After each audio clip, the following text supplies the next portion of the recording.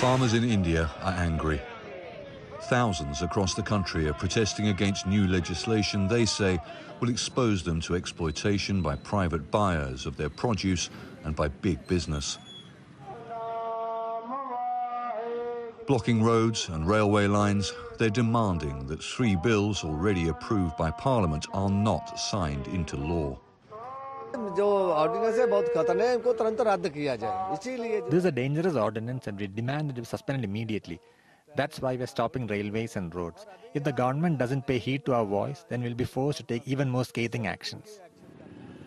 The agriculture sector contributes nearly 15% of India's $2.9 trillion economy and employs around half the 1.3 billion population. Under the 1964 Agriculture Produce Marketing Committee Act, farmers have to sell their produce at government-regulated markets such as this one.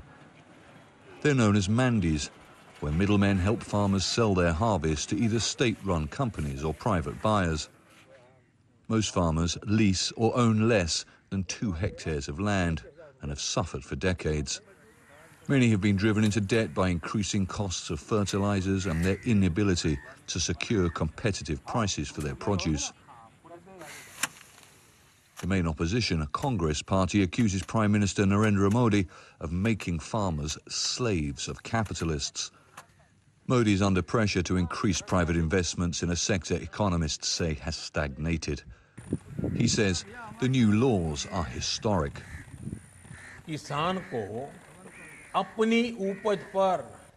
For the first time, farmers have got actual rights over their produce. The reforms in agriculture will benefit small and marginal farmers the most. There are 85 out of 100 farmers in the country that belong to this category. The government says mandis won't be shut down, but their monopoly has to end.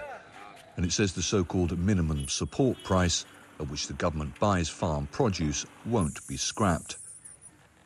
Maharaj Singh is a farmer in Uttar Pradesh state. He grows rice on under half a hectare, which he leases from a landlord.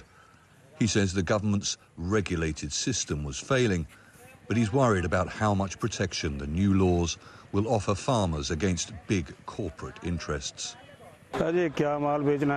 What can I say? The crops are currently sold for peanuts. The middlemen and the business run the show. They decide the cost. The farmers don't have any choice, and they're unable to meet their fertilizers or basic costs. Sometimes these middlemen do offer loans. I doubt the big corporations will do that. Actually, we don't know if they would support the farmers. It's up to our government, and let's see what decisions they make. Winning support for change among such a vast and important population as India's farmers is proving difficult for Prime Minister Modi, who won the last election promising to improve their lives.